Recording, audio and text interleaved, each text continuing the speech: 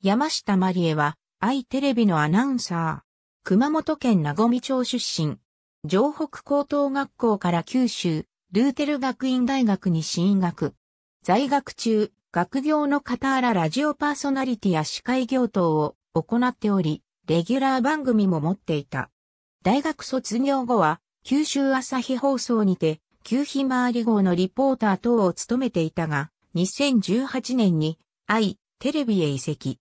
ここでは制作兼務となり、様々なジャンルを経験し、現在に至る。中学、高校の教員免許、秘書検定等の資格を持つ。中学生の時から地元地域の子育てサークルに参加し、絵本の読み聞かせなどをしていた。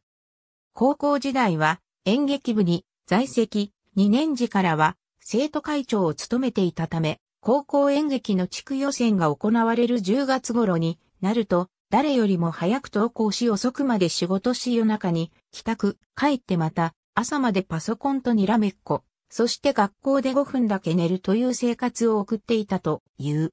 大学時代は、名古町から熊本市内まで自動車で通学していた模様。